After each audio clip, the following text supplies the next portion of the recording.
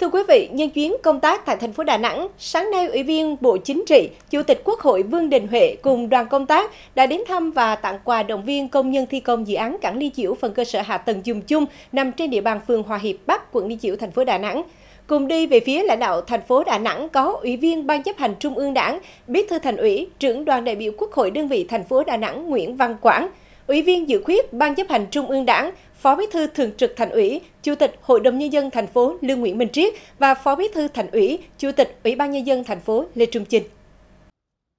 Cảng Liên Chiểu có vai trò vị trí chiến lược vô cùng quan trọng, được xác định là điểm cuối của hành lang kinh tế Đông Tây, đồng thời nằm ngay trên điểm hàng hải quốc tế. Theo Ban Quản lý các dự án đầu tư cơ sở hạ tầng ưu tiên thành phố Đà Nẵng, đến thời điểm hiện tại, Dự án đang triển khai đúng tiến độ được giao và phấn đấu hoàn thành đúng tiến độ dự án phần cơ sở hạ tầng dùng chung vào năm 2025. Hiện nay, Ủy ban nhân dân thành phố Đà Nẵng đang phối hợp với Bộ Giao thông Vận tải và Bộ Kế hoạch Đầu tư tham mưu trình Thủ tướng Chính phủ xem xét quyết định phương án kêu gọi đầu tư trong và ngoài nước, đảm bảo lựa chọn được nhà đầu tư đáp ứng năng lực quản lý, xây dựng, khai thác thương mại, phát triển cảng Liên Chiểu theo đúng quy hoạch đã được phê duyệt. Ngoài ra, Ủy ban nhân dân thành phố Đà Nẵng cũng đã chỉ đạo Sở Giao thông Vận tải thành phố phối hợp với chủ đầu tư lập báo cáo nghiên cứu tiền khả thi phần kêu gọi đầu tư để làm cơ sở đấu thầu lựa chọn nhà đầu tư xây dựng quản lý và khai thác thương mại cảng Liên Chiểu.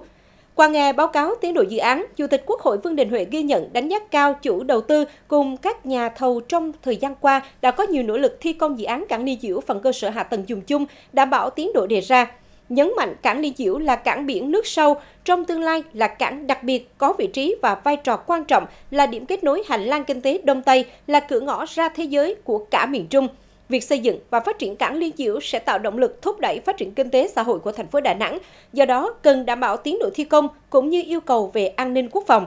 Dịp này, Chủ tịch Quốc hội Vương Đình Huệ và lãnh đạo thành phố Đà Nẵng cũng đã tặng quà động viên cán bộ kỹ sư công nhân tại công trường bến cảng Liên Chiểu.